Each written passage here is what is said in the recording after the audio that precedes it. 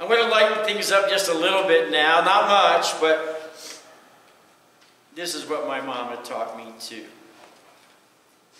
Little boy in a baseball hat stands in the field with his ball and bat.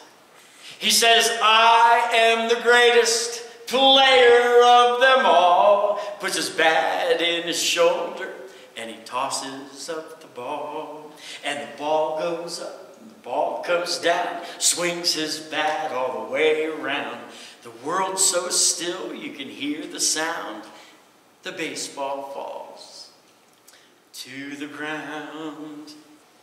Now the little boy, he doesn't say a word. He picks up his ball. He is undeterred. He says, I am the greatest there has ever been. And he grits his teeth and he tries again. And the ball goes up and the ball comes down. The world's so still you can hear the sound. Ball comes down to the ground. he makes no excuses. He shows no fear. He just closes his eyes and listens to the cheers. Little boy, he adjusts his hat, picks up his ball, stares at his bat. He says, I am the greatest when the game is on the line, and he gives his all just one last time. And the ball goes up, and the moon so bright swings his bat with all his might. The world's as still as still can be. The baseball falls, and that's strike three. Now it's supper time, and his mama calls. Little boy starts home with his bat and his ball. He says, I am the greatest. That is a fact, but even I didn't know I could pitch like that. I am the greatest. That is understood, but even I didn't know I could pitch that good. Oh, that's great. That's my mom. Yeah. That's my mom who says when you when you give it your all, it's all attitude. When the world really offers you lemons and you can make lemonade out of it. When Paul's in the Mamertine prison in Rome, the most horrible place on earth to be, and he can write the greatest book on joy. And he says in chapter 3, after all Ron read about his life and all he had been through, he says that I may know you. I just want to know Jesus. I'm trying, Lord. I'm trying. That I may know him. I jotted down some notes of things. By the way, in the Bible, there are at least four great moms that we know about. We know about Hannah, how she was barren and she prayed and God blessed her with whom? Samuel. We know about a lady named, oh, how about Sarah? Sarah couldn't have a baby, and at age 90, God opens her womb and blesses her with a guy named Isaac, a patriarch of the Jewish nation. How about Elizabeth in the New Testament? She couldn't have a baby either, and at an old age, God opens her womb and John the Baptist is born. And possibly the greatest mom of all should have, could have, would have been stoned outside the city, age 14. No more ready to be a mother than the. If there, if there were abortions back in Jerusalem, maybe this lady, no, she wouldn't have even thought of No. it. No. Her name is Mary, the mother of Jesus. 14, unmarried. And an angel had to go to Joseph and say, hey, it's okay. It's okay. The baby that's conceived in her is from the Holy Spirit, Joseph. Take her as your wife. I sometimes wonder who the greatest who went through the greatest stress and turmoil? Was it Mary having a baby? And she knew she never touched a man. She knew that. Or was it Joseph who had was engaged to a lady who became pregnant on him? Men, what would you think? Mary goes to Joseph. It's okay, Joseph. See, see, I never touched a man, and what's inside of me is a miracle. Yeah, yeah. All right. Joseph needed some divine revelation, didn't he? Mary did too. And Mary ends up saying, Be it unto me according to your will.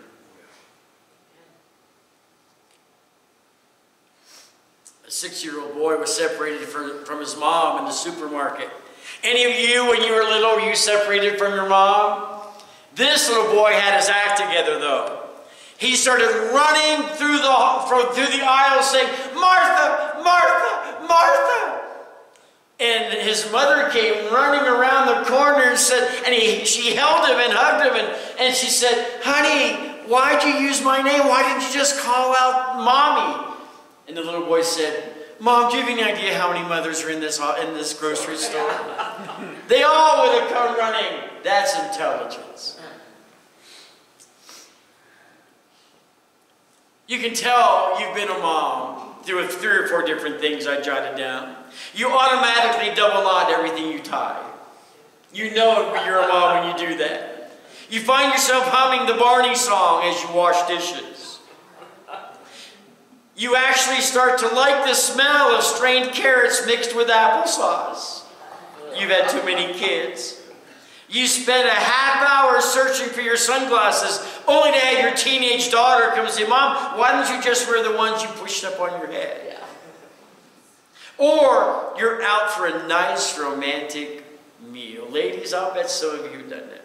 You're out for a nice romantic meal with your husband, enjoying some real adult conversation, when suddenly you realize you reached over and started cutting your husband's steak for him. Mamas do that, you know. You know your mom if you do things like that. But my mom taught me a lot of good stuff. And your moms have too. Let me give you some examples, and we'll get to the message in a minute. My mother taught me to appreciate a job well done. My mom would say, if you're going to kill each other, do it outside. I just finished cleaning the living room. She taught me about religion. You better pray that, that stain comes out of that carpet. She taught, told, taught me about time travel. If you don't straighten up, I'm going to knock you into the middle, middle ages. My mom taught me logic. Because I said so, that's why. Amen. We need more days like that. I've seen mothers actually try to debate a, a maternal decision with a three-year-old. It's because I said so. That's why. Period. There is no more discussion or debate. We live in a crazy society today. People have gone, they've lost their mind. Common sense has left the building. The SJW, social justice women. No, no. Warriors, social justice. They think that's that social justice is divine justice, and it's not. Divine justice is coming. By the way, if you're keeping, I told the men in prayer this morning, next week is a full red blood moon.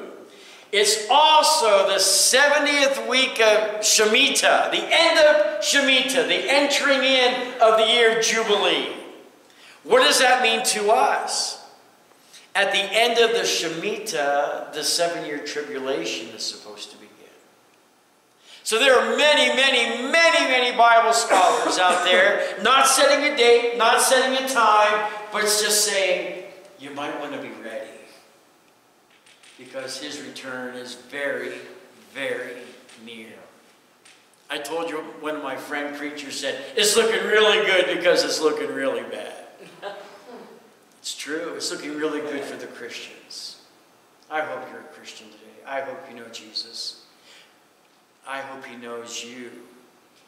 And I don't mean in a God way. I mean, God knows everything. He's omniscient.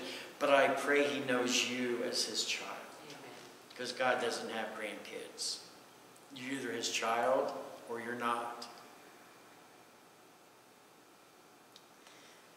My mom taught me about the science of osmosis.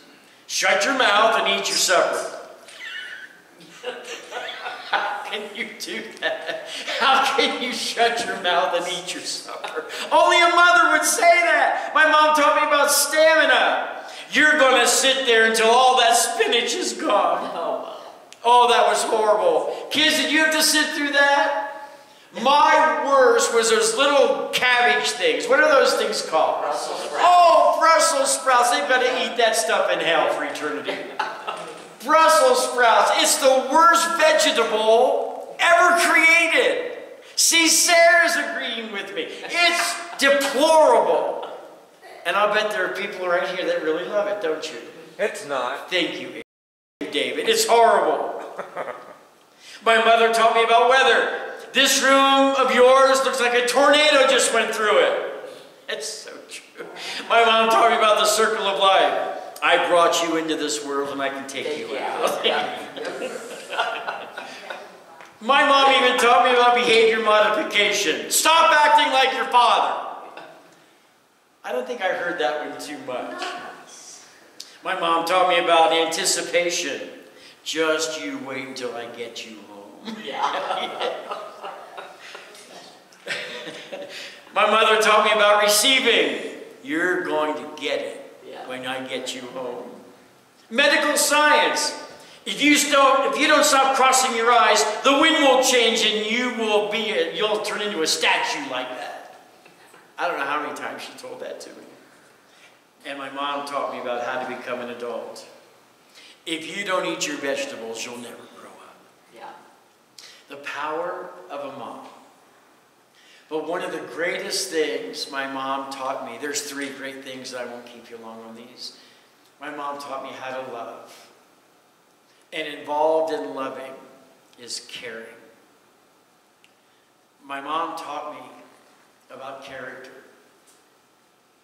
She said the definition of character is what you do when no one else is around. Amen. If you think no one else will find out, that's character. What are you going to do then? By the way, you're deceived if you think you can do anything without being found out by a holy God. In the book of Numbers, we're told, and don't forget this, behold, your sin will find you. It's not if, it's just when. Can't fool God. Can't hide from Him. No matter where you go, He's there. He knows where you're at. He knows what you're doing. He even knows what you're thinking. Wow. I know some of you can't wait to get out of here. It's getting a little bit warm, isn't it? My mom taught me how to treat ladies with dignity, respect, honor. My mom taught me that if I'm sitting on a bus and a lady walks in and she has to stand to give up my seat for her. How often do you see that happening today? Not too often. Last time I did that, I was working for Continental Airlines. We had to ride a bus from the, the employee parking lot into the terminal, FAA regulations. So I'm sitting in my seat, got the last seat, and all of a sudden there's one more stop and two flight attendants get on. So I'm a ramp rat. I've got my coveralls on. I'm ready to load airplanes all day. And I stood up for either one of the ladies. And the first flight attendant slapped me across my face and she said, You think I'm too weak to stand up? I said, No, I just think you're too ugly. I didn't say that. You know me better than that. But another female ramp rat grabbed my coveralls and said, Sit down. Let her stand up. She deserves to stand up. She's not a lady. Wow. A female defending me against a female. We've come a long way in this country. We have kids running away from home. We have kids doing things that, that, that are incredibly sad because they lost hope somewhere along the way. You lose hope, and the next day is tough. You lose hope and food doesn't taste good anymore. You lose hope and it's hard to sleep at night. A lot of our young people have lost hope. They see all this craziness, all this evil becoming good, and good becoming evil, and they're confused. They've lost hope. My mom taught me how to work. How about you? She taught me how to go in the backyard on a hot, humid Pennsylvania afternoon and mow the lawn with one of those push mowers. Not the powerized push mower, the old blades that went around. And she made. Do you do that too? See? I like you. I remember it would take little old me, a nine year old boy, maybe two or three hours to do our backyard. And every once in a while, mom would come out with some lemonade. She'd say, Bobby, come take a break. And I was always praying, Lord, give her a sensitive heart, saying that's good enough for the day, son. But she never did that. She said, let's finish Amen. what you started. She taught me the value of hard work. If you have your Bibles, turn to Jeremiah chapter 6, please. Jeremiah chapter 6. And put your finger there and turn back one page before that to Jeremiah chapter 5.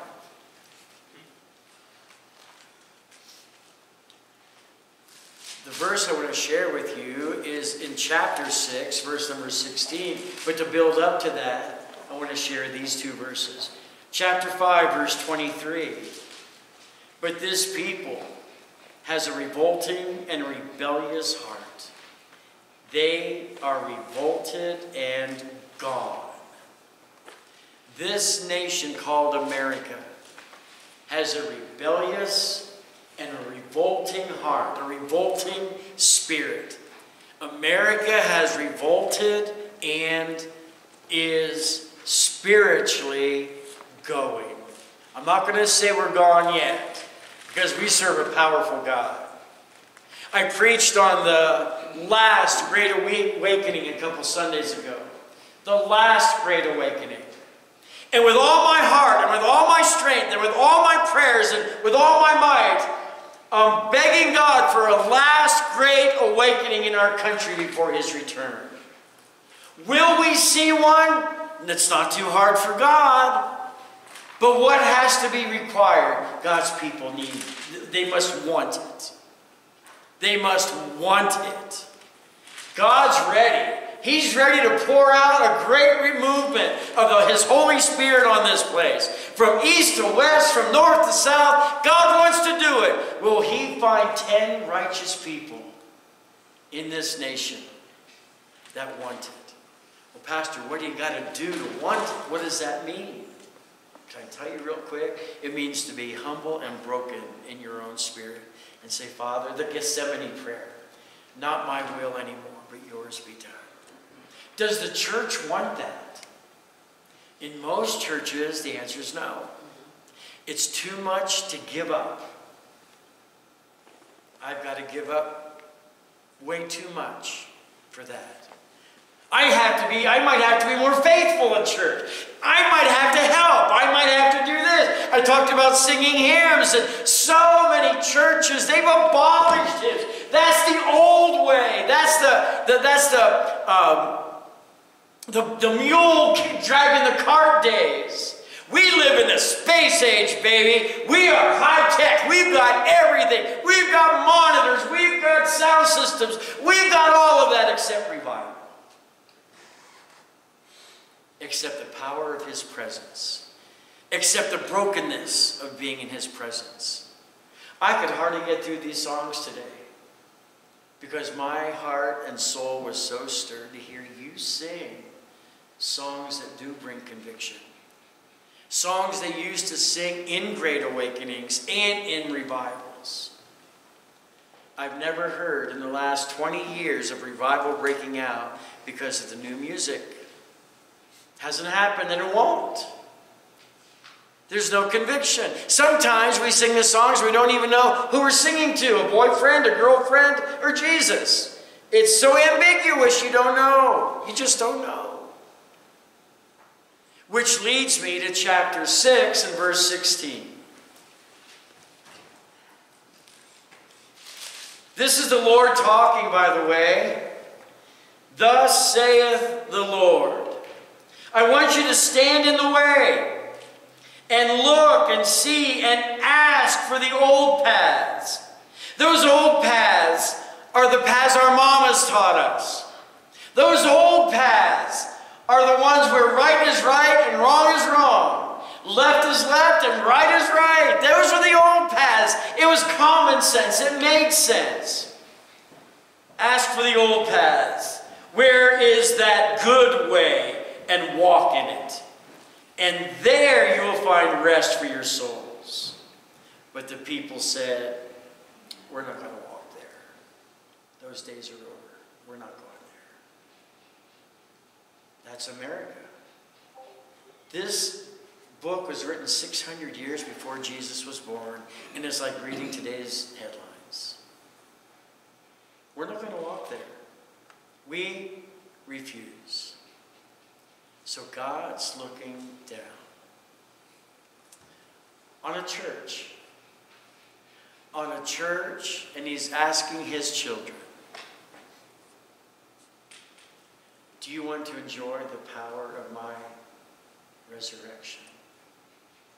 Do you want to, want to enjoy my presence, my power, my convicting Holy Spirit power? Do you want that? Do you want to walk with Jesus in the fellowship of his suffering? It's coming, by the way. Church, it's coming, ready or not. Persecution is on the way. It's already started. But so many churches are asleep we don't even realize it.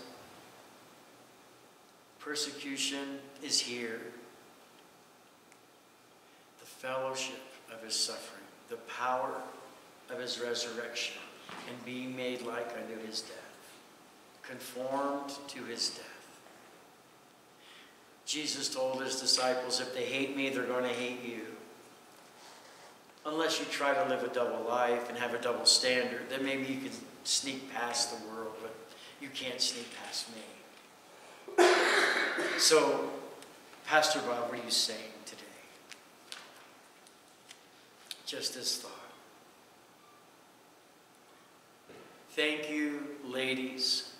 Thank you, moms. Thank you, grandmas. Thank you, great grandmas, for showing us what love is all about. That's the greatest thing my mom taught me. She even warned me. She did. She said, Bobby, I can see trouble for you down the road because you always wear your emotions on your sleeve. You're going to have your heart broken. She was right. Moms are right. I had to, I had to concede that. I could fool my dad sometimes, could never fool my mom. Why? Because she loves with her whole heart.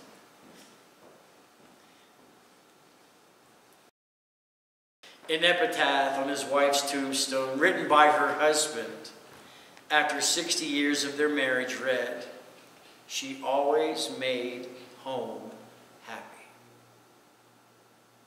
That's the love of a mother. That's the love of a wife. The final thought about our moms, how great they are, how much they love, how much they've sacrificed, how much they've given away. A teacher was asking Johnny in math class, Johnny, I have a cherry pie here, and there's 10 people in your family. Let's say there's eight kids and mom and dad. How much of that pie will you get? And he said, I'll get a ninth. No, no, Johnny, you didn't understand. There's 10 slices, and there's 10 people, so how much will you get? And he said, I'll get a ninth. Because I know my mama, she'll just say, no, thank you, I don't want one. That's what mamas do. They sacrifice. Even at childbirth, they sacrifice. Willing to surrender their life for the birth of their baby. That's love. Don't you think? I'm going to preach on the Heavenly Father on Father's Day. But I thank God for Heavenly Mothers this morning. I thank God for Heavenly Ladies. Proverbs 31 women. If you're in love with a Proverbs 31 woman, you've got it made. You are so blessed. I want a Proverbs 31 wife. I'm looking everywhere. Been to the bars, been to the clubs. Can't find one yet. I'm just kidding. It's going to happen maybe sooner than, sooner than you all know. Now you wake up. Now you start smiling. You guys. Thomas Edison once said, I'm going to finish after this. I did not have my mother long, Thomas Edison said. But she cast over me an influence which has lasted my life. Amen, men? Amen, ladies? Our mama did that. The good effects of her early training I can never lose. If it had not been for her appreciation and her faith in me at a critical time in my experience, I should never likely have become an inventor. I was always a careless boy and with a mother of different mental caliber. In other words, I was smarter than mom. I should have turned out badly, but her firmness, her sweetness, her goodness, her love for me were the potent powers to keep me on the right path. My mother was the making of me. The memory of her will always be a blessing to me. I pray that we, as I close in Proverbs 31 28, this morning, right where you're at, right where you're sitting, you can do this. Proverbs 31 28. Thank you for teaching us the old paths, ladies. Thank you for teaching us the right way. Thank you for teaching us the way to walk, the straight paths for our feet to keep us away from trouble and harm. Thank you. You have, you have no idea how precious you are for doing that. Her children arise and call her blessed. Her husband also, and he praises. Men, if your mom is not around anymore, she's gone, she's passed. I know the feeling. I wish my mama was here still. I wish I could call her on the phone and just praise her. I tried to do that this morning in my humble way. But my mom is gone.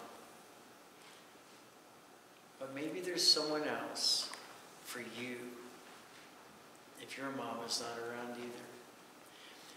She's called a wife.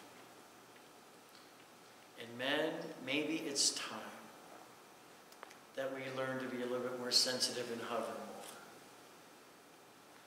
more. Right, ladies? That's an amen time. Amen. Maybe it's time to call her blessed. Maybe it's time to praise her. Maybe it's time to say, honey, you sit down, you sit down, and I'll get the kids to clean up. Because Men, maybe it's time. I really mean this with all my heart. I wish my mama were still here. I'd love to go to Pennsylvania and give her a great big squinch. She called them squinches. I think it's a Pennsylvania word, I don't know. But I'd love to give my mom hugs. I wish I could give her one more hug.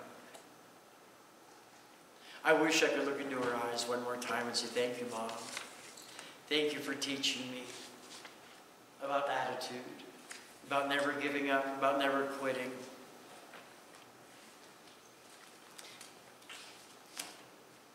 my mom